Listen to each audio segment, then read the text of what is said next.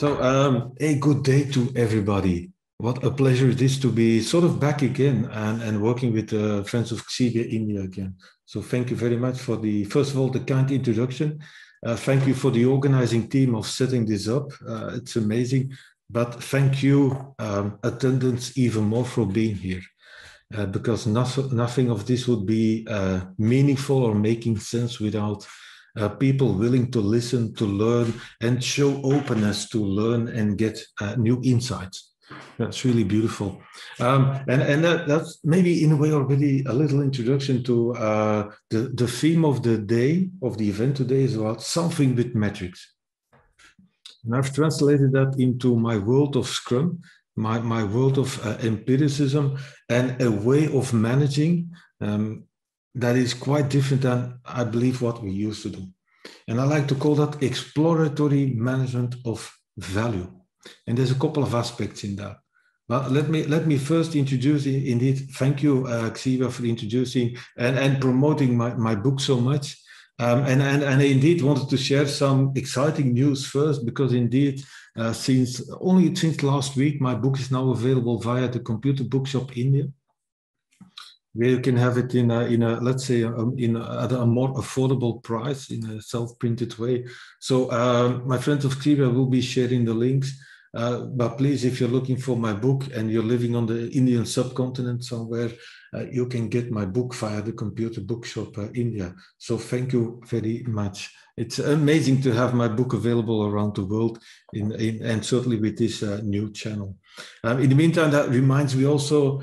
Um, once upon a time, and I still maintain that, I created two texts around Scrum. Uh, one is a Scrum glossary, meaning a glossary, a, a, list of words of Scrum, key terms of Scrum, and a little explanation. But also text about the Scrum values. And uh, those two texts, uh, there are separate websites, websites for them, by the way. They have been translated in the meantime to over 20 languages, including Hindi, including Bengali, and so on. And now there's two people, I believe they are attending the session. So let me, let me um, uh, say my thanks to them publicly, Mahesh and Rahul Jade, uh, for working on the translation of those two texts into Marathi and there's a couple of the, the most beautiful language around the world. I don't understand them, but I truly appreciate the effort that people go to in translating my work. So thank you, thank you, thank you very much. Uh, it's amazing to see my work available around the world. now, I, I, wanted to start this session with thinking about metrics and, and, and uh, taking a step back. As was said during the introduction, um, I truly believe in Scrum being a really great instrument to humanize the workplace, create more humane professional working environment for people. And that starts by accepting, acknowledging, embracing, even cherishing the fact that it's all about human beings. And as human beings, a scarf is what we all need. A scarf is from um, neuroscience and, and, and, and psychology, it stands for status, certainty, autonomy, relatedness, and fairness, SCARF. So it's, a, it's an acronym. Um, those are things we all need as human beings. And, and some of you might know Daniel Pink, who wrote a book, uh, What Truly Motivates People. And he highlighted, in a way, three elements of those five things of SCARF. And the first status he translated in a professional working environment, certainly in a knowledge creation environment, he translated that into mastery. And that's that's that's not too bad, let's say. Um, I like I like to see it more as skills. So um, status in that sense being acknowledged for somebody for being somebody who's able to actually do something to to add something to contribute. Yeah, and I, I like it. Maybe mastery skill. Uh, maybe the neuroscience talks more about competence. So in a professional environment status, it's, it's, it's something that emerges from competence, having skills, or acquiring mastery. And, we know about uh, Daniel Pink, he got the element of autonomy. And then uh, what he called, what, what we would generally call relatedness, he translated that into purpose. Uh, I've been told by people that contributed to my, my book, 97 Things Every Scrum Practitioner Should Know, people that are more into neuroscience, uh, they say, well, purpose is not really uh, most scientific term, so we like to call it relatedness. And I, I, I, I embrace that. I love that. I, I like to call it skills of competence. Skills, in that sense, is a little bit better because it keeps intact the acronym, let's say. But I want to talk today, and I want to start today with thinking about relatedness.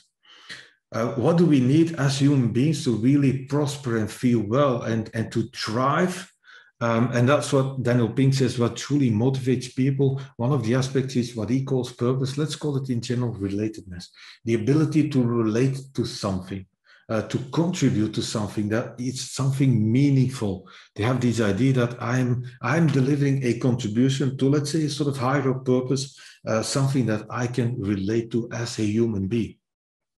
So, and that is also important as a professional.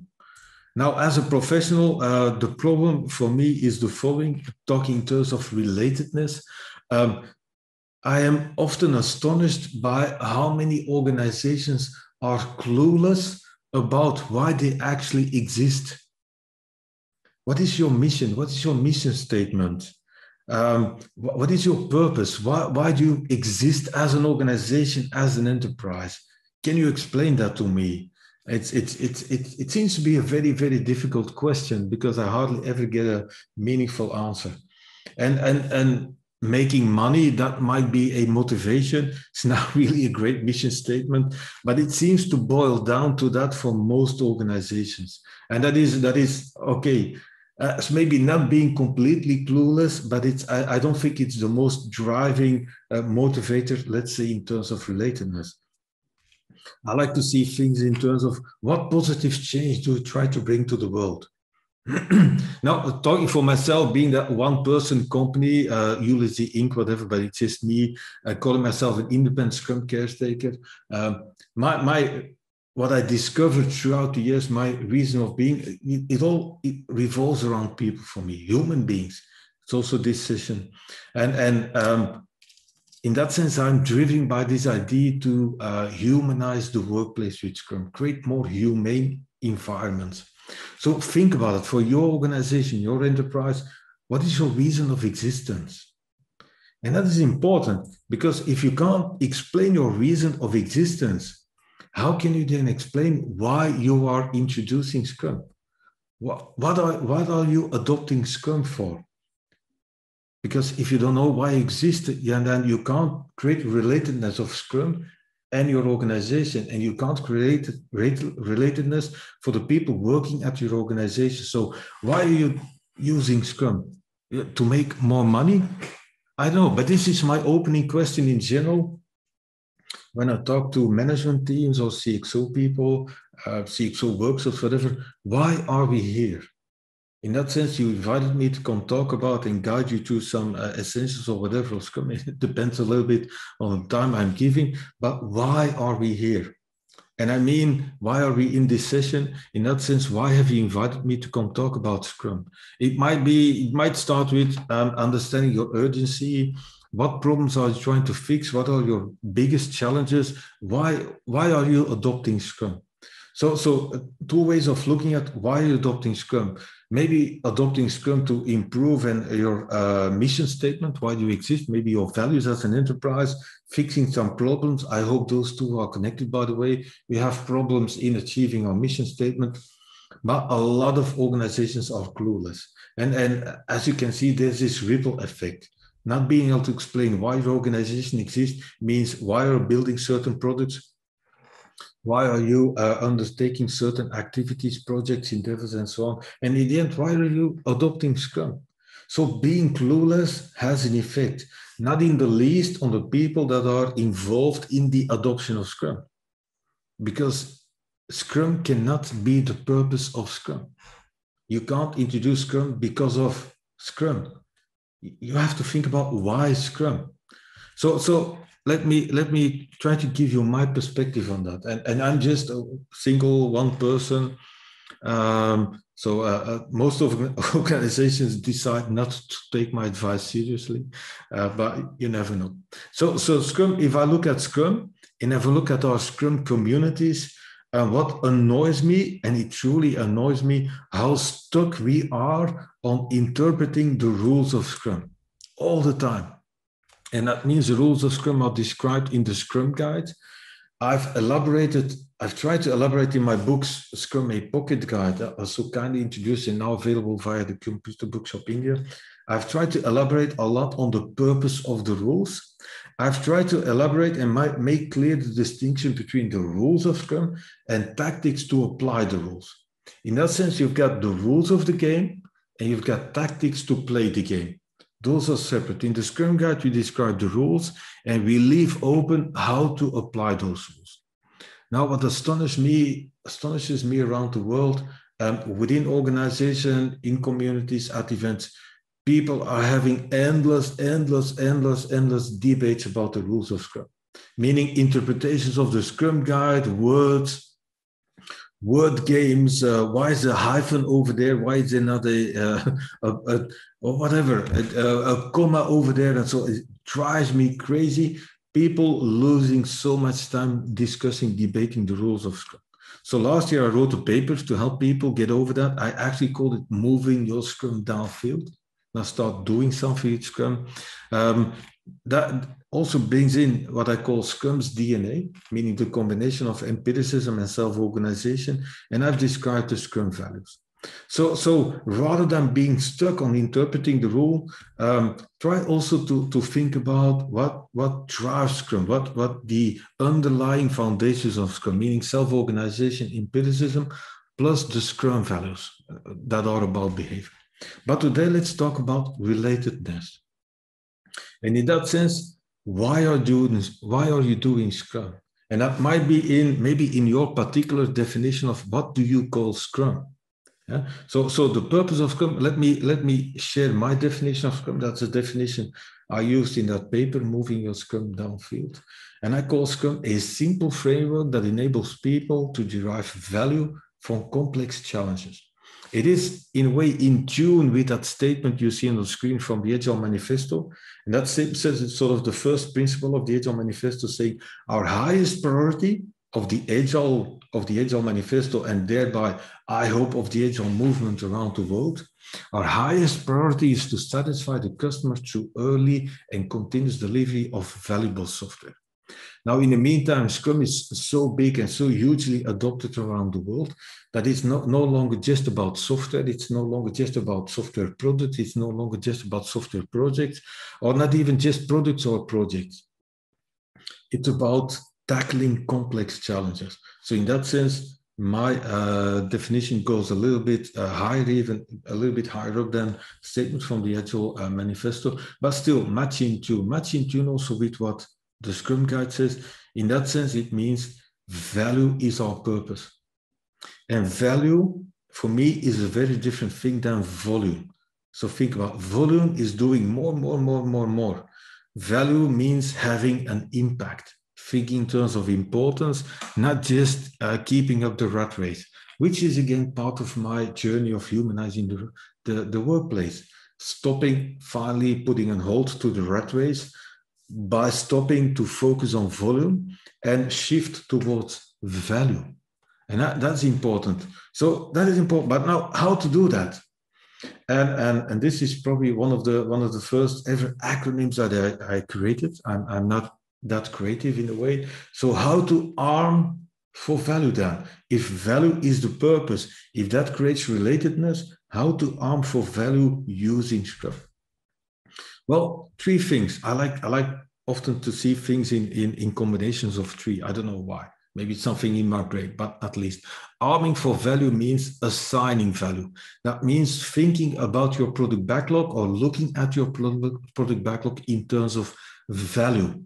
That might mean value by assigning it on product backlog items, like you would assign or estimate effort on product backlog items, assign value to product backlog items you can use very, very similar techniques. You can use relative value, absolute value, and so on.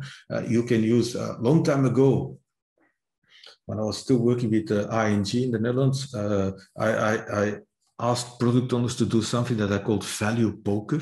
So rather than planning poker for estimate, but value poker. But at least the first thing, armed for value means you have to think about what is value for us.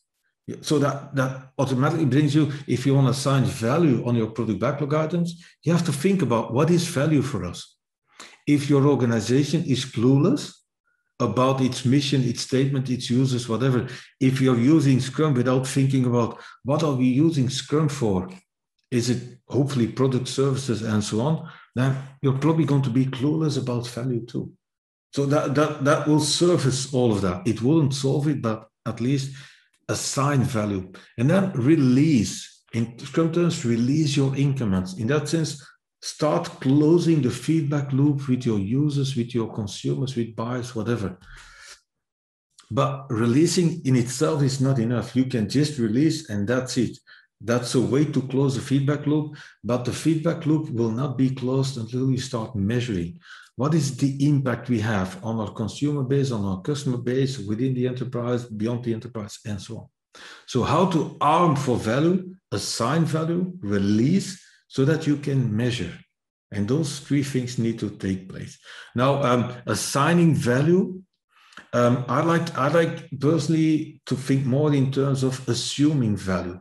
Make an assumption of value on your product backlog, and the assumption needs to be validated by releasing and then measuring. So, an assumption locally starts with an A, so I can keep intact my uh, my little acronym.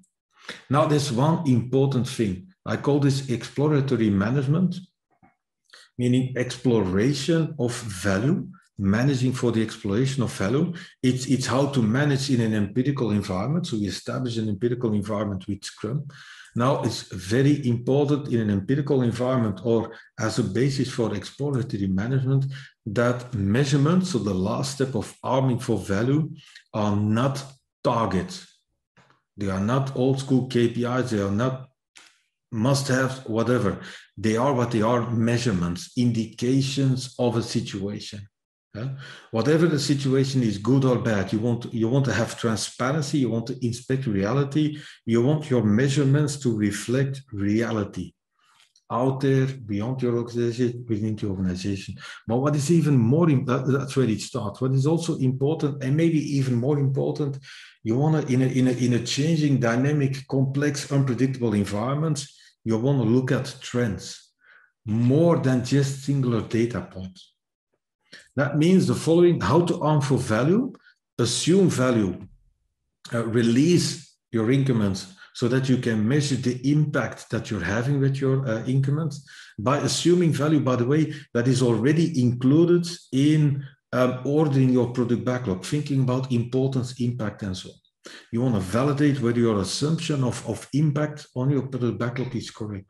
And like I just said, you don't want to do this once, you want to do this repeatedly so that you create feedback loops that you close regularly and that you that you capture that you collect multiple data points so that you can see trends through those points compare it to burnout charts burnout charts and so on so that is that is really important now how to actually do this in a context of Scrum, uh, we've got a beautiful event for that. It's called the Sprint Review. So exploratory management of value, important perspective, I believe, to the Sprint Review. You know, the Sprint Review, the event where the product owner connects live, um, interacts with, connects um, stakeholders key users, potentially key buyers, potentially consumers of the product, and, and, and the development team, or what we now call the developers. So they're all in the same room. Nowadays, I know that's all virtually, but still, we are also virtually connected here. So uh, you, you can do that remote. But in a sense, they're all in the same physical or virtual room. Um, and, and they're having, hopefully, um, they're bringing in information, they're bringing in feedback and I hope your sprint reviews are about inspecting for potential impact. That might be impact or potential impact. Let me explain. It means you're looking at the increment, the way the, the sprint went, and so on, but you're looking at the increment. And I hope your perspective to the increment is not uh, did everybody perform his or her tasks? Was it according to the estimates made? Um, sort of individual performance in a sprint. No, in Scrum, the minimal units, the units to look at Scrum from an external perspective, meaning not being in the Scrum team, so not being the product owner, not being the Scrum Master, not being the developers or the group of developers or the development team. Um, for all of those people, the units to look at Scrum are a sprint, not days, not estimates, not hours spent, whatever, not days, but a sprint. That's a unit of time. And, and, and the unit of, of people, let's say, is the team, the team as a whole. Yeah. And what you want to know is not volume, but value. And that is a very different perspective than I see happening at a lot of sprint reviews. So, so thinking about value, impact, importance, I hope your sprint reviews are about inspecting for that potential value, that potential impact that you are creating as a team. And not about uh, estimates, individual performance, volume, um, velocity, all those um, all those things that might be important, but not not really adding value to thinking in terms of value. So that, that is for me really, really important. And the idea of this idea of introducing or making your sprint reviews revolve around value is to get people's focus eyes away from the performance of the team, individual performance, let's say sort of how, how well the engine is performing towards, are we driving in the right direction? Are there any big blockages uh, uh, on the road that we can see coming ahead? How often do we have to stop, start again, and, and try to remove them? So, um, what is the impact that we are creating with our users, with our consumer base? Is our customer satisfaction sort of out the trend lines of customer satisfaction or other parameters? That is for me the goal of the sprint review. And it's for potential value of value in that sense as you know, you can produce multiple increments throughout the sprint. The minimum expectation of Scrum is to have at least one releasable, observable piece of, uh, of, of, uh, of, of an increment of a product of a service under the form of an increment by the end of the sprint. That's the minimal requirement. Obviously, you can produce multiple increments throughout the sprint. You can even release them throughout the sprint. That's a Scrum team decision, probably mainly driven by the product owner, but you can actually release multiple increments throughout the sprint. And that might make even a more rich sprint review because that means that the sprint review, you're not going to have to think about the potential value. In that sense, the, still the assumption of value, but you might already have an indication of the actual value that you're creating, not just the assumed value. The purpose of the sprint review is still the same, bringing all those parties together and, and look at the increment in terms of value. Yeah. So move away from the performance of the team. Let's say I, I, I sometimes use the analogy of a car. So stop looking at the performance of the engine, the horsepower, the whatever, how much how much uh, uh, fuel it consumes, whatever. And as as um, a group of people, but certainly with managers and stakeholders, maybe at your sprint reviews, certainly with your users, look at the road ahead has this bring brought us a little bit closer to where we want to go to, where we want to get to, meaning product goal, um, living by our product vision, and so on. So th- that is for me the goal of the sprint review. So um, shifting people's focus from performance to impact. That is in a way not looking at how the Scrum team or the people in the Scrum zone have been performing, but looking at the potential impact, the potential value of their work. And that is for me essential. Yeah? And, and then three essential questions in that regard are, and, and um, overarching questions, if you want, regarding value. And, and again, three elements. What is your, let's say, your current value position? I call that your current or your actual value. What is, what is, how much value are you actually creating, delivering? Um, what is the value position that you currently have? But more in, also important is what is your ability to sustain or even improve your current or your actual value position. So what is your ability? What is, what is your sustained value? And, and think about those things. And, and the third question is, what is your ability to discover new value? In that sense, innovate within the product, but maybe even across the product, across your portfolio, misschien across all of the services that you have. That means innovate within a product, but also across products.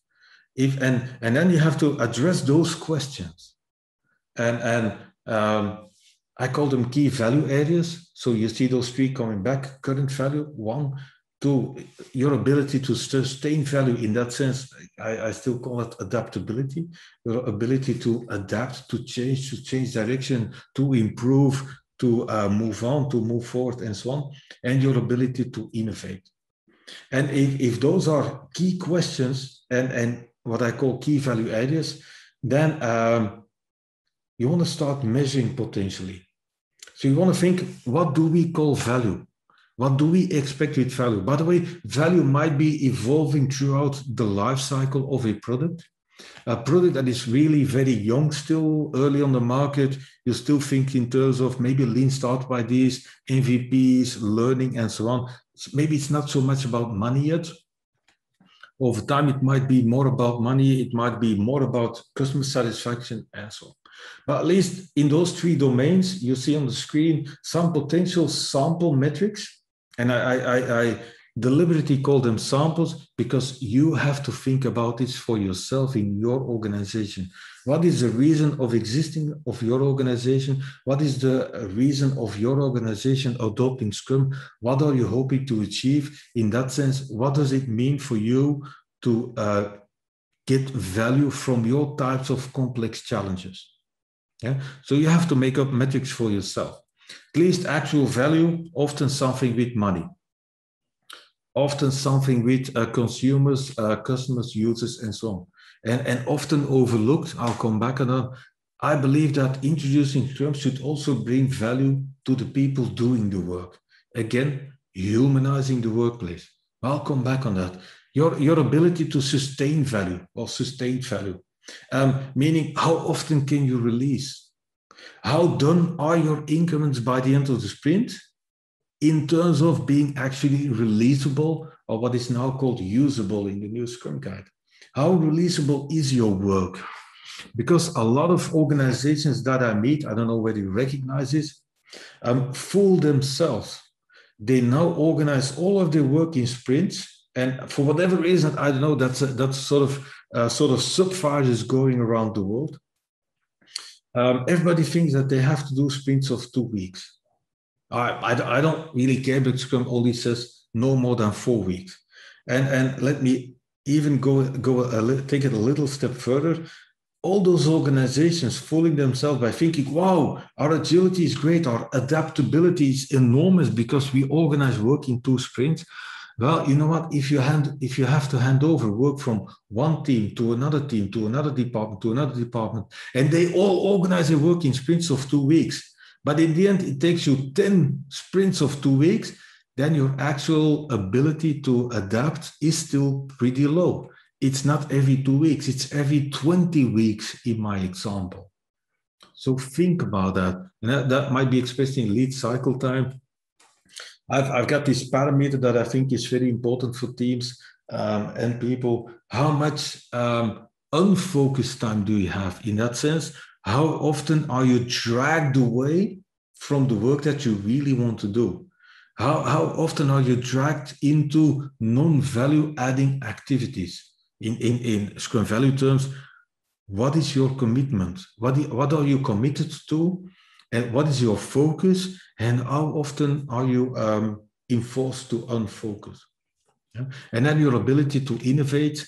Um, how much dead code do you have in your product? And that, that code um, stops you from innovating because it makes sure that you have to spend a lot more time on non-value activities like maintaining that old code, keeping it into account, uh, all the dependencies that it created, and so on. And then, and then for me, two more important, let's say more positive expressions of your ability to innovate is, is what I call feature usage, meaning what is sort of the usage index within your product, what features are being used, what are not being used, remove the features not being used, and you also resolve your dead code problem, by the way. But even beyond that, are you introducing Scrum not just to do things faster, although you might be fooling yourself, produce more, but to deliver more value faster in a way? But are you also introducing Scrum so that you free up time of people that they can think about really new products? In that sense, I call that product turnover rate, like there's a feature turnover rate. Um, how, how, how much of new features did you really, really new innovative features did you build into your product over the past two to three years? And the same question at the product level. How, how many really new innovative products or service have you created, launched onto the market over the past two to three, four years? Because most organizations that I know are stuck in tweaking, updating, changing, and so on, uh, existing features of existing products a little bit. And they're now doing it in 10 sprints of two weeks rather than a long phase of, uh, of six months, although it might boil down to the same. So think about it measurement. Now, let, let me dive into those high, that, that area one, your actual, your current value position. Yeah. Now, these are, these are metrics from two reports and, and uh, although I like them, I like them a lot because they bring in a very perspective to delivering value with Scrum. That might be, uh, you see on the left hand side, uh, it's from the Product Management Festival. It's not too long ago. Um, it's, it's something with money, customers, market share, customer satisfaction, I do know NPS, net promoter scores, and so on.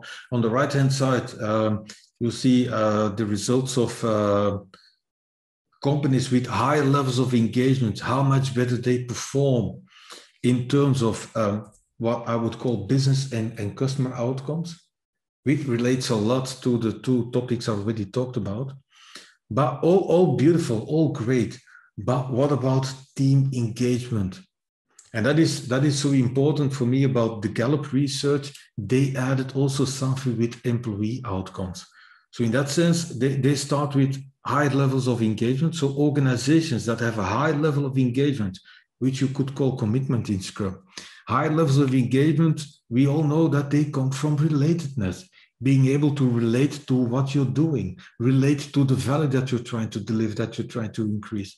Relatedness, purpose, engagement, commitment creates focus. So, so companies that, that have a high level of relatedness, meaning people engage more, um, that means it's also better for those people themselves, meaning lower absenteeism, lower turnover, less people leaving the company, and so on.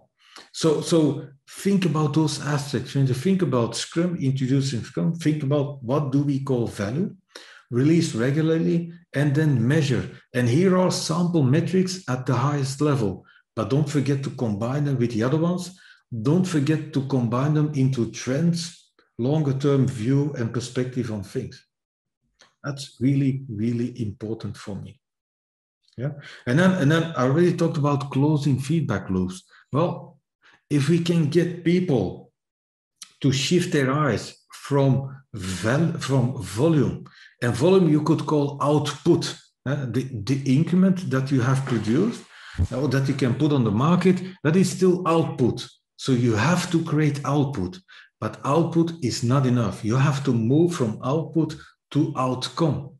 Yeah. So when we talk about potential value, potential impacts, you're shifting to from output to outcome. So in that sense, you're not looking at the output alone, but you're looking at the outcome of the output, which is important.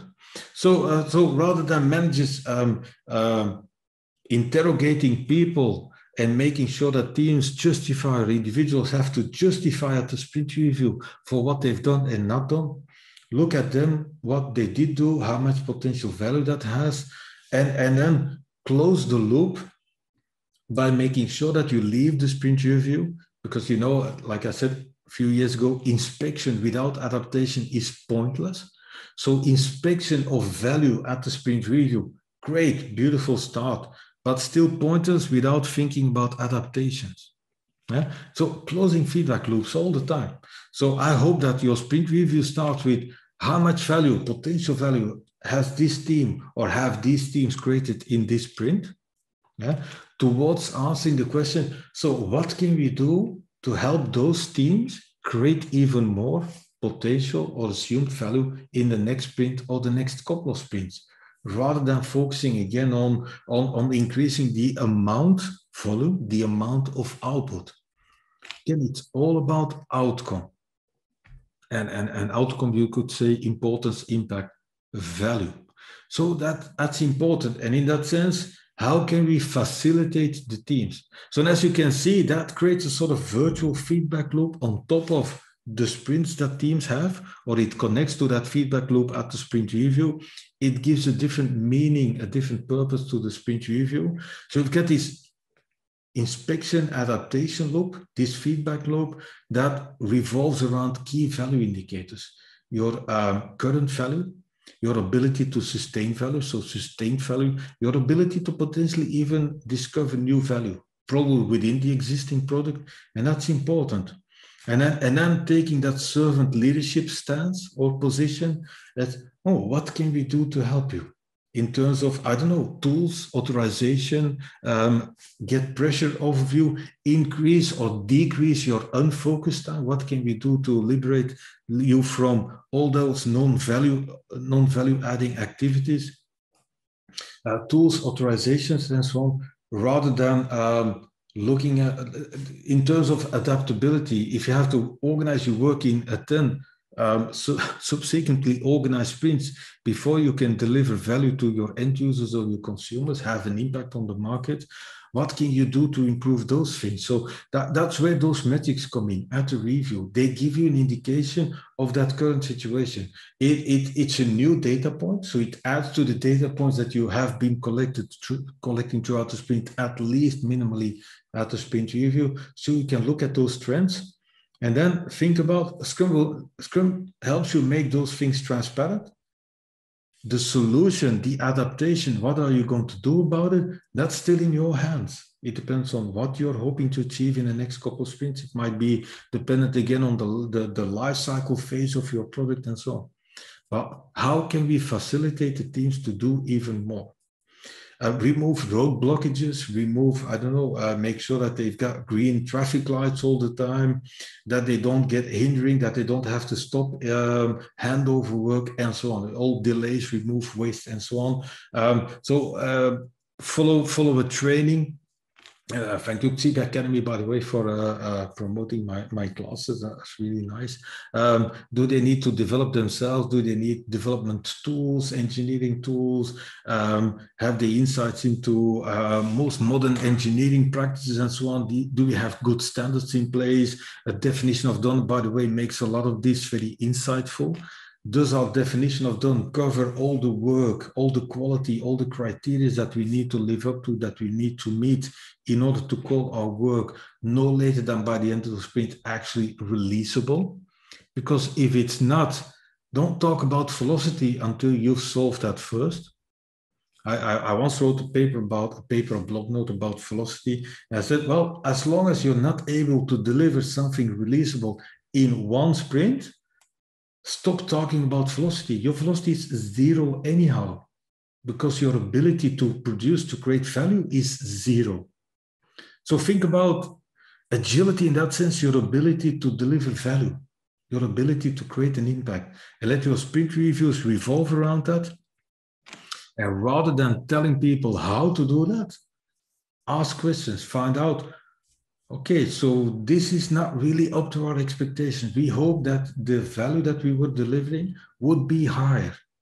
Rather than blaming people for that, judging them for that, assessing them for that, um, having them justify whatever, ask questions. So, okay, what might be reasons why our actual value position isn't what we were hoping for?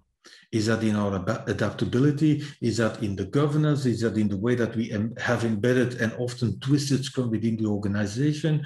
Have we set up micro Scrum teams within existing silos? Um, do we have a real product owner in place with a mandate, with a focus on the full product, meaning the end-to-end, start-to-finish ability to deliver value to our consumers? What's the engagement of the teams? How can we improve engagement of the teams? How, we, how, how can we help them? So that you do a little bit better in the next sprint and that hopefully at some point in time you see that reflected in the trend lines that you are collecting. So, so think about it. Closing the feedback loops, arm, assign value so that you can regularly release and then measure the impact and use use the, use the result of your measurements as an indicator, uh, hopefully in trend lines of your actual situation. And, and can we sustain that value? Because even if you have a high value now, if your ability to sustain that value isn't really too big, then this is what you want to work on. Yeah. So a lot of things to think about. So in in in a in short, sort of summarizing, sort of you're looking for a mindset shift towards exploratory management, meaning exploring whether you are delivering value or not. And value, very different than volume. So the mindset shift that we're looking, so exploratory management, exploration is not about imposing long-term plans of rigid targets. Rigid and rigidity is sort of the antithesis, it's the opposite of agility, rigidity, uh, like deadlines. No, uh, managing for volume, meaning tasks, individual performance, and then providing extrinsic motivators, trying to bribe people with more money or a, a bonus or a, some financial incentive or so, or a status, a bigger company car, whatever, all extrinsic motivators, toxic. They have nothing to do with SCARF.